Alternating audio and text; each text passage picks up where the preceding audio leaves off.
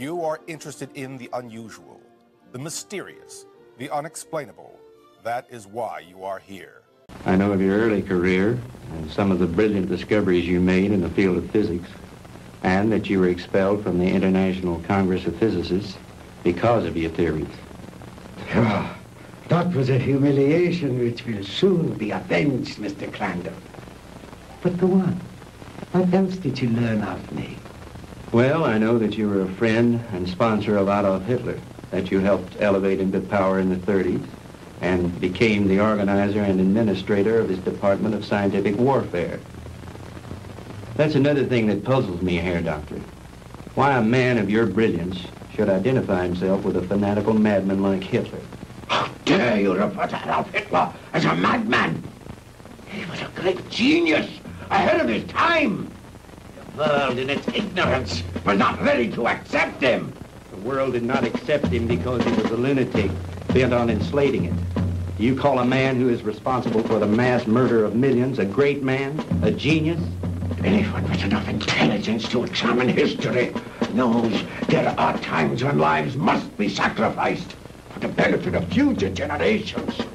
And he was willing to do this in order to lead his people into... Into darkness, into oblivion. That's where he was leading them. And like all other power-crazed dictators before him, he failed. Thank God there were people in the world with enough courage to resist and to conquer him. What do you know in your stupid, petty little mind?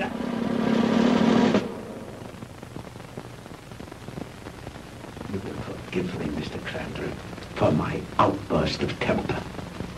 You are, of course, entitled to your own opinion for whatever small purpose it may serve you. Let me enlighten you, Mr. Crandall, on a few things of which you and the rest of the world are unaware. Blame for the loss of the war cannot be laid to Hitler or his doctrines.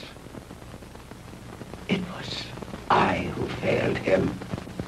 Me the General Staff. He called for weapons, super weapons, to turn the tide of war in those last few days. Because of my inability to deliver those machines soon enough, we were defeated. It might interest you to know that during those last few months of the war, we had almost perfected weapons so far in advance of anything that had gone before them as to make modern warfare in all its forms completely obsolete. Oh, if we had only had time for further experiments. I know of some of your experiments, like the ones carried out in a certain concentration camp. Oh, then you know about the agent machine. Yeah, they had almost perfected that one when the war ended. Oh, machine was one of the more primitive devices, like the jets and the rockets that we, we used so briefly. We were in the final stages, Mr. Crandall, of perfecting weapons that were truly astounding and against which you would have had no defense. A cannon that killed with sound waves, yet was completely silent. A giant generator gun that could electrocute whole armies in the field.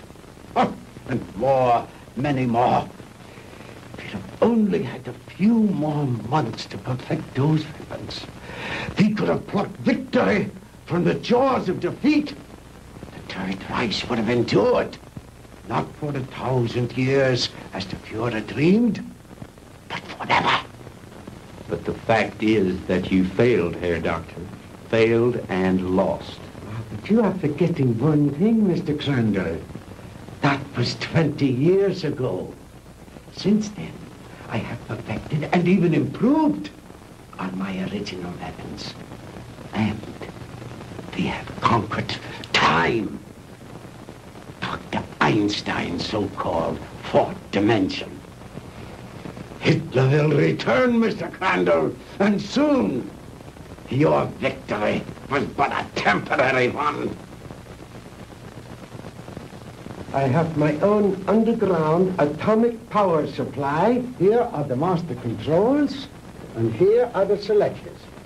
With this dial, I can control the century I wish to deal with. These other dials, of course, are for the selection of the, the year, the month, the day, even the hours and minutes and even seconds.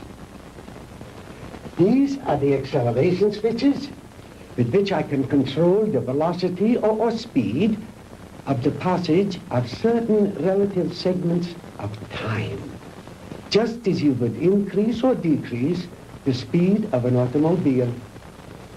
Is that too difficult for you to grasp, Mr. Crandall? Frankly, I'm beginning to doubt my sanity. You needn't.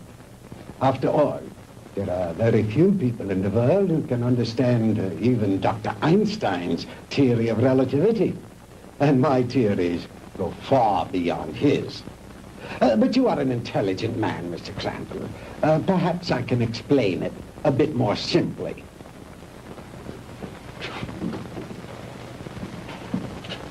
Will let this line represent the world. With a line here to represent the equator, and a mark here and a mark here for the north and south poles. If an aircraft starts here, this side of the equator, and starts going up and up and up, it is going north, toward the North Pole. But the instant it passes over the pole, it is no longer going north. It is going south. And yet, it has not turned or change its direction in any way. Now, that is the simplest way I know of to make you understand how my theory of superspectronic relativity was first developed. It has long been established that time and space do not exist except in relation to each other. Therefore, they are inseparable, indivisible, uh, a space-time continuum. The faster we travel in space, the faster we travel in time. Now, uh, let me use this short vertical line to represent an instant of time on this horizontal arrow to represent velocity or speed. Now then, scientists have long held that light is the top limiting velocity in the universe. In other words, there is nothing in the world faster than light. And yet it is known that beta particles ejected from the nuclei of radioactive substances can attain velocities up to 99% that of light. Now, I have always based my theories on the premise that there is no limit to space. The universe is limitless. Well, if there is no limit to space, then there is no limit to time. And no limit to velocity. Therefore, I thought there must be something in the universe that was faster than light.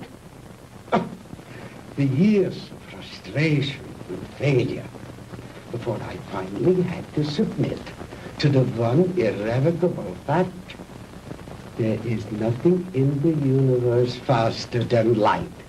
But I discovered a new ray in the spectrum with a wavelength infinitely shorter even than that of the cosmic ray. This ray I called the minus ray. I'm afraid you lost me, Doctor. Uh, well, in other words, while I discovered that the velocity of light is indeed the top velocity in the universe, that velocity need not remain constant. I discovered that through minus rays, velocity could actually be accelerated. And let me illustrate in this way. This line represents an instant in time. An instant, that is, in relation to our immediate vicinity in space. Now, if you enter a dark room and flip a switch, that room is instantly flooded with light. That is because that light, traveling at its great velocity, takes hardly any time at all to cover that small area of a room. It is immediate, instantaneous. Now, if that light had traveled any faster, it would have come on before you flipped the switch. Are you beginning to understand? I think so. Fine.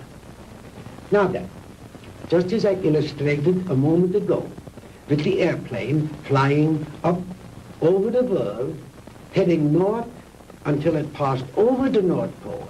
Then its direction became south. The same thing is true in a sense of time. If the velocity of ordinary light, represented by this arrow, should be accelerated, then it will pass beyond the instant, represented by this vertical line, and no longer be moving in the direction of the future, but it will be moving in the direction of the past. It will no longer be going forward in time, but backward. The greater the velocity, or, or, I should say, the greater the acceleration, the further back in time it will travel. In other words, if a guy left New York for Los Angeles and traveled fast enough, he'd get there before he started. Joke, Mr. Crandall. But crudely expressed, that is exactly what would happen. Why are you telling me all this? To impress upon you the superior scientific knowledge that we possess, my friend, and to illustrate why we would have won the war if we had only had a few more months. We were the slaves of time then. Time was our master. I, I have changed all that. Now we are the masters and time is our servant. Ah, you Americans are an egotistical, arrogant lot. How proud and superior you felt as you strutted through the ruined streets of our cities. The proud conquerors claiming the spoils of war. Is only temporary, my Yankee friend. Soon Hitler will return. We will rewrite history. And the Third Reich will endure. Not for a thousand years or a hundred thousand years, but forever. Immortality. The age-old dream of man is ours. The rest of the world will fall at our feet, and ye shall rule for all eternity.